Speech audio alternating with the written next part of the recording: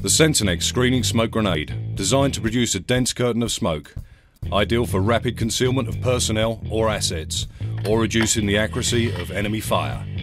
The 40mm diameter grenade produces a minimum of 45 seconds of dense, white, non-toxic smoke from a single exhaust port on the base of the aluminium body. The Centanex smoke grenade uses the same high-quality fly-off lever and delay system as the operational grenade family. There are three stages to arming and is easily removed from a carrying pouch. The Centanex smoke grenade is used extensively by UK police. Its low profile and weight making it easily concealable and close protection personnel have found it to be extremely effective.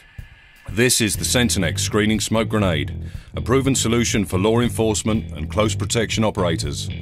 Manufactured in Lincolnshire, England to UK and international military standards. Supported by ISO 9001 accreditation.